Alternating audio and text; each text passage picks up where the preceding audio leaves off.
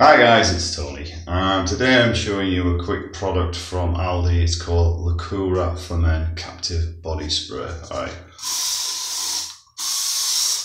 Okay, this product is uh, is one of those cheap things that you see in Aldi, um, but it doesn't do anything. Uh, smells okay, but I've used it for deodorant. Doesn't really do the job very well.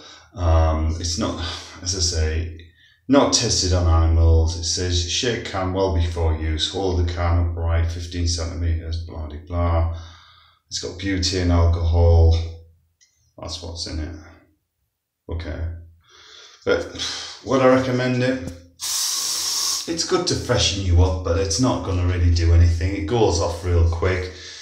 You get what you buy, you know what I mean? Uh, would I recommend it? No.